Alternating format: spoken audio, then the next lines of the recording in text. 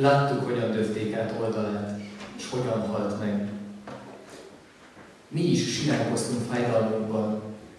Jaj, jaj, Urunk, Te Isten vagy, miért tűröd ezt? Miért haltál meg? Miért szomorítottad meg szívünket, akik hittük, hogy eljön a Te országod? Ő pedig, ami Urunk és Királyunk, harmadnapra feltámad halottaiból, és lakozott mi közöttünk, amíg nagy dicsőségben föl nem ment az ő országába. Mi pedig megismernénk kis hitűségünket, megerősödtünk szívünkben, és attól kezdve az ő magvetői vagyunk.